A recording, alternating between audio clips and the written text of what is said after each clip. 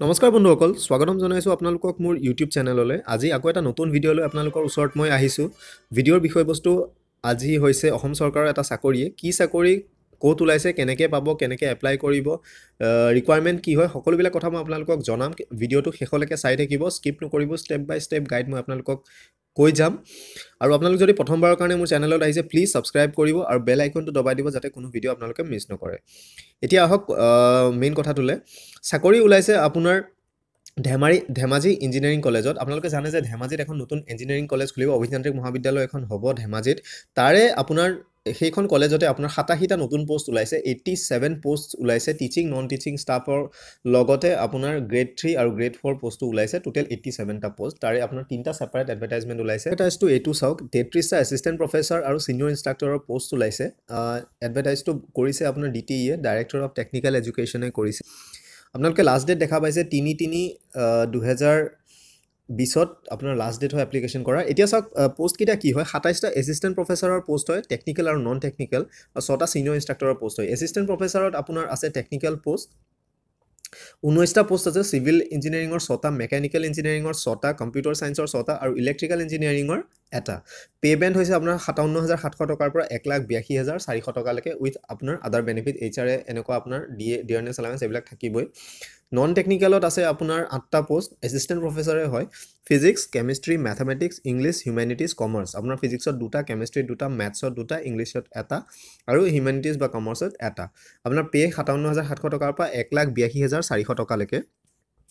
ঠিক তেনেদৰে ছিনিয়ৰ ইনষ্ট্ৰাক্টৰত আপোনাৰ পষ্ট আছে ছটা চিভিলৰ কাৰণে দুটা মেকানিকেলৰ দুটা কম্পিউটাৰ ছায়েন্সৰ কাৰণে দুটা। এই ছিনিয়ৰ ইনষ্ট্ৰাক্টৰ টেকনিকেলৰ কাৰণে আপোনাৰ যিটো চিভিল হওক মেকানিকেল হওক কম্পিউটাৰ ছায়েন্স হওক বা ইলেক্ট্ৰিকেল হওক আপুনি তাতে এম টেক কৰা হ'ব লাগিব স্পেচিয়েলাইজেশ্যন লৈ পেলাই। নন টেকনিকেলৰ কাৰণে ঠিক সেই তেনেকৈ ইউ জি চি নৰ্ম হয়। আৰু ছিনিয়ৰ ইনষ্ট্ৰাক্টৰৰ কাৰণে আপুনি minimum under grade I mean poly pass হ'ব লাগিব। তিনি বছৰ যিটো ডিপ্ল'মা ইঞ্জিনিয়াৰিং ক'ৰ্চ হয় চিভিলত মেকানিকেল বা কম্পিউটাৰ ছায়েন্স সেয়া আপুনি পাছ হ'ব লাগিব। আৰু ছিনিয়ৰ ইনষ্ট্ৰাক্টৰৰ আপোনাৰ পে' স্কেল হৈছে চৈধ্য হাজাৰৰ পৰা ফৰ্টি নাইন থাউজেণ্ড আৰু গ্ৰেড পে' হৈছে এইটি ছেভেন হাণ্ড্ৰেড আপোনাৰ বয়স একৈছ বছৰতকৈ তলত হ'ব নোৱাৰিব আৰু থাৰ্টি এইট ইয়াৰ্ছতকৈ ওপৰত হ'ব নোৱাৰিব এজন one one two thousand twenty অৰ্থাৎ আপোনাৰ বয়সটো এক এক দুহেজাৰ বিছৰ ডেটলৈকে ভিত্তি কৰি পেলাই কেলকুলেট কৰা হ'ব আৰু সেই এক এক দুহেজাৰ বিছত আপুনি একৈছ বছৰতকৈ তলত হ'ব নোৱাৰিব বা থাৰ্টি এইট ইয়াৰ্ছতকৈ ওপৰত হ'ব নোৱাৰিব। আৰু ৰিলেক্সেশ্যন আপোনালোকে পাব যে যিটো ষ্টেণ্ডাৰ্ড নৰ্ম হয় অ' বি চিৰ কাৰণে তিনি বছৰ এছ চি এছ টিৰ কাৰণে পাঁচ বছৰ আৰু ঠিক তেনেদৰে পাৰ্চন উইথ ডিজেবিলিটি আৰু এক্স ছাৰ্ভিচমেনৰ কাৰণে। এপ্লিকেশ্যন প্ৰচেছটো সম্পূৰ্ণ অনলাইন হয় অফলাইনৰ ইয়াত কোনো কথাই নাই। অনলাইন আপোনালোকে D T dot Assam dot G O' V dot ইনত গৈ পেলাই আপোনালোকে কৰিব পাৰে। মই আপোনালোকক মই দেখাম কেনেকৈ কৰিব লাগে আৰু মই লিংকটো দি দিম ডেছক্ৰিপশ্যন বক্সত আপোনাক আপোনালোকে তাতে ডাইৰেক্ট ক্লিক কৰি পেলাইও আপোনালোকে সেই হোম পেজত যাব পাৰিব। আপোনালোকে অনলাইন অলৰেডি ষ্টাৰ্ট হৈ গৈছে দহ তাৰিখৰ পৰা আৰু এই অনলাইন প্ৰচেছ চলি থাকিব তিনি মাৰ্চলৈকে। চ' এডভাৰটাইজমেণ্ট ডিটেইলছটো যদি মই আপোনালোকক দেখাওঁ এডভাৰটাইজমেণ্ট ডিটেইলছটো এইটো চাওক এডভাৰটাইজমেণ্টলৈ এইটো হৈছে আপোনাৰ গ্ৰেড থ্ৰী পষ্টৰ কাৰণে সেই একেই ধেমাজি ইঞ্জিনিয়াৰিং কলেজতে ইয়াত গ্ৰেড থ্ৰীৰ চৌবিছটা পষ্ট আছে। চৌবিছটা পষ্টৰ সেই প্ৰচেছ সেই একেই হয়। আপোনাৰ দহ তাৰিখৰ পৰা আৰম্ভ হৈছে এপ্লিকেশ্যন প্ৰচেছ আপুনি অনলাইনে কৰিব লাগিব। আৰু তিনি মাৰ্চলৈকে আপোনাৰ এপ্লিকেশ্যন ডেট আছে। এতিয়া চৌবিছটা পষ্ট কি কি চাওক ধেমাজি ইঞ্জিনিয়াৰিং কলেজত জুনিয়ৰ এছিষ্টেণ্টৰ পষ্ট আছে আপোনাৰ আঠটা আনৰিজাৰ্ভ তাৰে চাৰিটা অ' বি চি দুটা এছ চি কাৰণে ৰিজাৰ্ভ এটা আৰু এছ টি প্লেন্সৰ কাৰণে এটা। ইয়াৰ পে' স্কেল হৈছে আপোনাৰ চৈধ্য হাজাৰৰ পৰা ষাঠি হাজাৰ পাঁচশ টকালৈকে আৰু গ্ৰেড পে' পাব আপুনি ছহেজাৰ দুশ টকা। এপ্লাই কৰিবলৈ আপোনাৰ মিনিমাম বেচেলৰ ডিগ্ৰী এটা থাকিব লাগিব অৰ্থাৎ আপুনি B A B S C B com বা বি চি এ তেনেকুৱা ধৰণৰ যিটো এটা গ্ৰেজুৱেশ্যন ক'ৰ্চ আপুনি কৰা হ'ব লাগিব গ্ৰেজুৱেশ্যন আপোনাৰ লাগিব। আৰু আপুনি এটা কম্পিউটাৰ স্কিল আপোনাৰ থাকিব লাগিব কম্পিউটাৰ চাৰ্টিফিকেট আপোনাৰ থাকিব লাগিব। ছমাহ হওক বা এবছৰীয়া হওক সেইটো স্পেচিফাই কৰা নাই আপোনাৰ ছমাহ মিনিমাম হ'লেই হ'ব। ইয়াৰ পিছত আছে জুনিয়ৰ ইনষ্ট্ৰাক্টৰ জুনিয়ৰ ইনষ্ট্ৰাক্টৰৰ আপোনাৰ চৈধ্যটা পষ্ট আছে তাৰে আনৰিজাৰ্ভ হৈছে ছটা অ' বি চিৰ কাৰণে চাৰিটা এছ চিৰ কাৰণে এটা এছ টি প্লেইনছৰ কাৰণে এটা এছ টি হিলছৰ কাৰণে এটা আৰু ইকনমিকেলি উইকাৰ ছেকশ্যনৰ কাৰণে এটা পষ্ট ৰিজাৰ্ভ আছে। পে' বেণ্ড হৈছে ইয়াৰ চৈধ্য হাজাৰৰ পৰা ষাঠি হাজাৰ পাঁচশলৈকে আৰু গ্ৰেড পে' হৈছে ছহেজাৰ আঠশ টকা।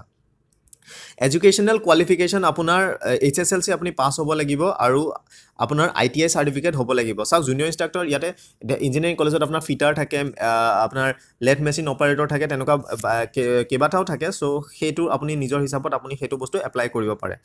এতিয়া চাইণ্টিফিক এছিষ্টেণ্ট আছে ফিজিক্সৰ চাওক এটা পষ্ট আছে পে'মেণ্ট আপোনাৰ টু হয় ফৰ্টিন থাউজেণ্ডৰ পৰা sixty thousand five hundred plus grade pay' আপোনাৰ ছেভেণ্টি ফ'ৰ হাণ্ড্ৰেড ৰুপিজ হয়। ইয়াত এপ্লাই কৰিবলৈ আপোনাক বি এছ চি আপোনাৰ যদি জেনেৰেল ডিগ্ৰী আছে general B S C degree আপোনাৰ ফিজিক্স কেমেষ্ট্ৰি মেথামেটিক্সতে আপুনি এপ্লাই কৰিব পাৰিব। আৰু আপোনাৰ যদি ফিজিক্সত যদি অনাৰ্ছ আছিলে বি এছ চিত তেতিয়া আপুনি প্ৰিফাৰেঞ্চ পাব। এতিয়া চাইণ্টিফিক এছিষ্টেণ্ট কেমেষ্ট্ৰিৰ কাৰণেও সেই একে এটা পষ্ট আছে। পে'মেণ্ট আপোনাৰ হৈছে চৈধ্য হাজাৰ পৰা ষাঠি হাজাৰ পাঁচশ প্লাছ গ্ৰেড পে' আপোনাৰ ছেভেণ্টি ফ'ৰ হাণ্ড্ৰেড ইয়াতো সেই একেই। আপোনাৰ কোৱালিফিকেশ্যন লাগিব আপোনাৰ বি এছ চি ডিগ্ৰী লাগিব ফিজিক্স কেমেষ্ট্ৰি মেথামেটিক্সৰ সৈতে বা আপুনি যদি কেমেষ্ট্ৰিত যদি মেজৰ কৰিছে বা অনাৰ্ছ আছিলে আপুনি প্ৰিফাৰেঞ্চ পাব। আপোনাৰ এজটো সেই একেই হয় ছেইম হয় ইয়াৰ আগৰটো সৈতে। আপুনি এক এক দুহেজাৰ বিছৰলৈকে আপোনাৰ মিনিমাম ওঠৰ বছৰ আৰু মেক্সিমাম থাৰ্টি এইট ইয়াৰ্ছ হ'ব লাগিব। যিটো হয় ইয়াৰ ভিতৰতহে হ'ব। অৰ্থাৎ এক এক দুহেজাৰ বিছৰ ডেটটোত আপুনি ওঠৰ বছৰতকৈ তলৰো হ'ব লাগিব হ'ব নোৱাৰিব আৰু থাৰ্টি এইট ইয়াৰ্ছকৈ ওপৰো হ'ব নোৱাৰিব। আৰু এজ লিমিটটো আপোনাৰ তিনি বছৰ অ' বি চিৰ কাৰণে আৰু আপোনাৰ পাঁচ বছৰ এছ চি এছ টিৰ কাৰণে আৰু পি ডব্লিউ ডিৰ কাৰণে এক্সট্ৰা ছাৰ্ভিচমেনৰ কাৰণে ৰিজাৰ্ভেশ্যন আই মিন এজটো ৰিলেক্সেশ্যন থাকিব। আপোনাৰ চিলেকশ্যন প্ৰচেছটো হৈছে আপোনালোকৰ যিটো একাডেমিক ৰেকৰ্ড আপুনি যিবিলাক চাৰ্টিফিকেট জমা কৰিব আপোনাৰ এডুকেশ্যন কোৱালিফিকেশ্যন তাৰ বেচিছত আপোনালোকৰ ফৰ্ম শ্বৰ্ট কৰা হ'ব আৰু আপোনালোকক চিলেক্ট কৰি পেলাই শ্বৰ্ট লিষ্ট কৰা হ'ব। আৰু শ্বৰ্ট লিষ্ট কৰা আপোনালোক সকলোলৈকে আপোনাক জনোৱা হ'ব যে শ্বৰ্ট লিষ্ট হৈছে বুলি ৱেবছাইটত পাব্লিছ কৰা হ'ব। আপোনালোকে এটা ৰিটেন টেষ্ট এপেয়াৰ কৰিব লাগিব। ৰিটেন টেষ্টৰ পিছত আপোনালোকে কম্পিউটাৰ টেষ্টৰ কাৰণে চিলেক্ট হ'ব বা প্ৰেক্টিকেল টেষ্টৰ কাৰণে জুনিয়ৰ ইনষ্ট্ৰাক্টৰখিনিৰ ক্ষেত্ৰত। আৰু সেই এক্সামৰ ভিত্তিত আপোনালোকৰ মেৰিট লিষ্ট প্ৰিপেয়াৰ কৰা হ'ব আৰু আপোনালোকে এপইণ্টমেণ্ট পাব যিখন এপইণ্টমেণ্ট লেটাৰ ৱেবছাইটত D T dot Assam dot gov dot ইনত publish কৰা হ'ব। আপোনালোকে পৰীক্ষা দিবৰ কাৰণে কিন্তু কোনো ধৰণৰ টি এ ডি এ আপোনালোকে নাপাব আপোনালোকে নিজৰ এক্সপেঞ্চত গৈ পেলাই পৰীক্ষা দিব লাগিব। আপোনালোকে অফলাইন প্ৰচেছ নাই মই আপোনালোকক বাৰে বাৰে কৈছোঁ অফলাইন প্ৰচেছ নাই। অনলাইন প্ৰচেছত আপোনালোকে D T dot Assam dot gov dot ইনত মই লিংকটো ডেছক্ৰিপশ্যন বক্সত দি দিম। আপোনালোকে সেইটো ৱেবছাইটত গৈ পেলাই আপোনালোকে নিজৰ নাম ৰেজিষ্টাৰ কৰি পেলাই আপোনালোকে ফৰ্ম ফিল আপ কৰি ৰেজিষ্টাৰ কৰিব লাগিব এপ্লাই কৰিব লাগিব। আমি আমাৰ ভিডিঅ'টোৰ শেষৰটো ভাগলৈ আমি আহিছোঁ। এইটো হৈছে মই যিটো কৈছিলোঁ আপোনাক সাতাশীটা পষ্টৰ কথা কৈছিলোঁ ইয়াৰ আগতে আপুনি দেখিলে এছিষ্টেণ্ট প্ৰফেচাৰ ছিনিয়ৰ ইনষ্ট্ৰাক্টৰৰ পষ্ট গ'ল জুনিয়ৰ এছিষ্টেণ্টৰ গ্ৰেড থ্ৰী পষ্টখিনি গ'ল। এতিয়া আহিছোঁ আমি গ্ৰেড ফ'ৰ পষ্টখিনিৰ কাৰণে সেই একে ধেমাজি ইঞ্জিনিয়াৰিং কলেজত ত্ৰিছটা গ্ৰেড ফ'ৰৰ পষ্টটো ওলাইছিলে। আৰু ইয়াতে গ্ৰেড ফ'ৰ আপোনালোকে দেখা পাইছে বিয়েৰাৰ পিয়ন চকীদাৰ ৱৰ্কশ্বপ যোগালী মালি এক্সেট্ৰা এই সকলোবিলাক পষ্ট গ্ৰেড ফ'ৰত সোমাই ত্ৰিছটা গ্ৰেড ফ'ৰ পষ্ট আছে। গ্ৰেড ফ'ৰ পষ্ট আপুনি চাওক ত্ৰিছটা আনৰিজাৰ্ভৰ কাৰণে বাৰটা অ' বি চিৰ কাৰণে আঠটা এছ চিৰ কাৰণে দুটা এছ টি প্লেইনছৰ কাৰণে তিনিটা এছ টি হিলছৰ কাৰণে দুটা আৰু ই ডব্লিউ এছ অৰ্থাৎ ইকনমিকেলি উইকাৰ ছেকশ্যনৰ কাৰণে তিনিটা পষ্ট আপোনাৰ। ভেকেণ্ট আছে। অৰ্থাৎ ৰিজাৰ্ভেশ্যন হৈ পেলাই ভেকেণ্ট আছে। টোটেল হৈছে ত্ৰিছটা ইয়াতে পে'মেণ্ট হৈছে আপোনাৰ বাৰ হাজাৰৰ পৰা বাৱন্ন হাজাৰ টকাৰ পে'মেণ্ট হয় আৰু গ্ৰেড পে' হৈছে thirty nine hundred educational qualification grade ফ'ৰৰ কাৰণে এপ্লাই কৰিবলৈ আপোনাৰ আপুনি মিনিমাম ক্লাছ এইট পাছ হ'ব লাগিব। ক্লাছ এইট পাছ কিন্তু আপুনি হ'বই লাগিব। এজটো সেই একে হয় এক এক দুহেজাৰ বিছৰলৈকে আপোনাৰ ওঠৰ বছৰ বা থাৰ্টি এইট ইয়াৰ্ছৰ ভিতৰত আপুনি হ'ব লাগিব। আৰু আপাৰ এজ লিমিটটো আপোনাৰ যিখিনি গভমেণ্ট ৰুল আছিলে মই আগতেও মই কৈছোঁ তিনি বছৰ পাঁচ বছৰ অ' বি চি আৰু এছ চি এছ টিৰ কাৰণে সেইটো ৰিলেক্সেশ্যন থাকে। চিলেকশ্যন প্ৰচেছটো চাওক গ্ৰেড ফ'ৰ পষ্টৰ কাৰণেও আপুনি ৰিটেন টেষ্ট এটা এপ্লাই এপিয়াৰ হ'বই লাগিব। ৰিটেন টেষ্টৰ আপোনাৰ ডিটেইলছ সকলোবিলাক ইয়াৰ পিছৰ পৰ্যায়ত আপোনাৰ যোনটো website D T dot Assam dot gov dot in তাত পাব্লিছ হ'ব আৰু নিউজ পেপাৰটো পাব্লিছ কৰা হ'ব। টি এ দিয়ে আপোনালোকক দিয়া নহ'ব আপোনালোকে নিজৰ খৰচত ডকুমেণ্ট ভেৰিফিকেশ্যন বা ৰিটেন টেষ্টৰ কাৰণে এপিয়াৰ হ'ব লাগিব। আপোনালোকে এইটো অফলাইন নহয় গ্ৰেড ফ'ৰখিনিও আপুনি অনলাইনে এপ্লাই কৰিব লাগিব D T dot Assam dot gov dot ইনত আৰু সকলো টাৰ্মছ এণ্ড কণ্ডিশ্যন আপুনি পঢ়ি ল'ব লাগিব। এডভাইট প্ৰথমতে আমি আমাৰ ব্ৰাউজাৰত গৈ পেলাই D T E dot Assam dot G O' V dot in type কৰি পেলাই আমি ৱেবছাইটটোত যাব লাগিব। ৱেবছাইটটো খোলাৰ পিছত আপোনালোকে এনেকুৱা ধৰণৰ এখন ইণ্টাৰফেচ দেখা পাব। আপুনি পি চিত খোলক বা মোবাইলত খোলক লেপটপত টেবত য'তেই খোলক আপুনি এনেকুৱা এখন ইণ্টাৰফেচ দেখিব ডাইৰেক্টৰ টেকনিকেল এডুকেশ্যন বুলি। এইটো আপুনি স্ক্ৰল ডাউন কৰি পেলাই আপুনি চাব ইয়াতেই চাব আপুনি online application for various post of Dhemaji engineering college বুলি ওলাই আছে। আপুনি দেখা পাব ইয়াতে ক্লিক বুলি আছে। আপুনি এইটো বস্তু ক্লিক কৰিব। এইটো ক্লিক কৰাৰ লগে লগে আপুনি চাব এটা you are being redirect to at external website আপুনি সেইটো হেৰি ভয় কৰিব নালাগে আপুনি অ'কে কৰিব। আৰু অ'কে চাওক অ'কে কৰাৰ লগে লগে আপোনালোকৰ এনেকুৱা এখন ইণ্টাৰফেচ খুলিব। আপোনালোকে চাওক ওপৰত লিখা থাকিব government of Assam higher education directorate of technical education তাৰপিছত চাব হোম নটিফিকেশ্যন যেনেকৈ থাকিব। ইয়াৰ পিছৰখিনিতে আপোনাৰ আহিব চাওক। আপুনি টাৰ্মছ এণ্ড কণ্ডিশ্যন যদি আপুনি পঢ়িব বিচাৰে ইয়াতে আপুনি টাৰ্মছ এণ্ড কণ্ডিশ্যন এটা টেব এটা দেখিছে আপুনি সেইটো ক্লিক কৰিলে টাৰ্মছ এণ্ড কণ্ডিশ্যন পঢ়িব পাৰিব। তাৰ পিছতে এপ্লিকেশ্যন প্ৰচেছটো আমাৰ আহিব। ইয়াতে চাওক এপ্লাই ফৰ খুব সুন্দৰকৈ বেলেগ বেলেগ ভাগত ভাগ কৰি থৈছে চাওক প্ৰথমতে আছে গ্ৰেড ফ'ৰ পষ্ট আপোনালোকে যদি গ্ৰেড ফ'ৰ পষ্ট যদি এপ্লাই কৰিব বিচাৰিছে আপোনালোকে গ্ৰেড ফ'ৰ পষ্টৰ তলত এটা এৰ' মাৰ্ক এটা দেখা দেখা যদি পাইছে আপোনালোকে ৰাইট হেণ্ড ছাইডত তাত আপুনি ক্লিক কৰিলে আপোনালোকৰ গ্ৰেড ফ'ৰ পষ্টখিনি আপুনি এপ্লাই কৰিব পাৰিব। তাৰ তলত যদি আমি আহোঁ ইয়াতে গ্ৰেড থ্ৰী পষ্ট আছে। আৰু গ্ৰেড থ্ৰী পষ্টটো খুব সুন্দৰকৈ ভাগ কৰি থোৱা হৈছে। চাওক ইয়াতে আপুনি গ্ৰেড থ্ৰী জুনিয়ৰ এছিষ্টেণ্টৰ কাৰণে যদি এপ্লাই কৰিব বিচাৰে জুনিয়ৰ এছিষ্টেণ্টৰ ইয়াত আপুনি ক্লিক কৰিব লাগিব। জুনিয়ৰ ইনষ্ট্ৰাক্টৰৰ কাৰণে যদি আপুনি এপ্লাই কৰিব বিচাৰে জুনিয়ৰ ইনষ্ট্ৰাক্টৰত আপুনি ক্লিক কৰিব লাগিব। চাইণ্টিফিক এছিষ্টেণ্ট ফিজিক্সত যদি আপুনি এপ্লাই কৰিব বিচাৰে আপুনি তাতে ক্লিক কৰিব। আৰু চাইণ্টিফিক এছিষ্টেণ্ট কেমিষ্ট্ৰিত যদি আপুনি এপ্লাই কৰিব বিচাৰে আপুনি ইয়াতে ক্লিক কৰিব। ইয়াৰ পিছত চাওক আকৌ ভাগ কৰি দিয়া হৈছে। যোনখিনি ফাৰ্ষ্ট ক্লাছৰ পষ্ট আছিলে সেইখিনি হৈছে এছিষ্টেণ্ট প্ৰফেচাৰ টেকনিকেল আপুনি যদি এপ্লাই কৰিব বিচাৰিছে আপুনি তাতে ক্লিক কৰিব। ঠিক সেইদৰে এছিষ্টেণ্ট প্ৰফেচাৰ নন টেকনিকেল আৰু ছিনিয়ৰ ইনষ্ট্ৰাক্টৰ আপোনালোকে এপ্লাই কৰিব পাৰিব। ইয়াতে ছেপাৰেটকৈ কোনো ধৰণৰ খেলি মেলি নাই। সকলোখিনি পষ্ট বেলেগ বেলেগকৈ দিয়া হৈছে আপোনালোকে তাতে ক্লিক কৰি এপ্লাই কৰিব পাৰিব। এতিয়া চাওক ইয়াতে তলত আছে নিউ কেণ্ডিডেট ৰেজিষ্ট্ৰেশ্যন আপুনি ইয়াতে নিউ ৰেজিষ্ট্ৰেশ্যন কৰি আপুনি প্ৰথমতে আপোনাৰ ৰেজিষ্টাৰ কৰিব লাগিব আপুনি। তাৰপিছত আপুনি এপ্লাই কৰিব পাৰিব। আৰু এপ্লাই কৰাৰ পিছত আপুনি যদি আকৌ সেই ফৰ্মখন আপুনি চাব বিচাৰে বা প্ৰিণ্ট আউট কৰিব বিচাৰে তেতিয়া আপুনি কেণ্ডিডেট লগ ইনত গৈ ইয়াত এপ্লিকেশ্যন নম্বৰ ভৰাই পাছৱৰ্ড ভৰাই আপুনি লগ ইন কৰিব পাৰিব। আৰু যদি পাছৱৰ্ড পাহৰি যায় আপুনি ফৰগট পাছৱৰ্ডত মাৰি আপোনাৰ পাছৱৰ্ড ৰিছেট কৰিব পাৰিব। সিমানখিনিয়ে কথা আছিলে বেছিক ডিটেইলছখিনি আপোনালোকে চাই লওক ইনফৰ্মেশ্যনখিনি আপুনি দিব লাগিব সেইখিনিতো আপোনালোকে জানেই। তাৰ ভিতৰত ফৰ্ম কি থাকে মই আপোনালোকক দেখাম অলপ পিছত। সকলোখিনি কৰাৰ পিছত আপুনি ছাবমিট কৰিব লাগিব। ছাবমিট কৰাৰ পিছত আপোনাৰ যোনখন জেনেৰেট হ'ব ফৰ্ম সেইখন আপুনি প্ৰিণ্ট আউট কৰি ৰাখিবও পাৰে। আৰু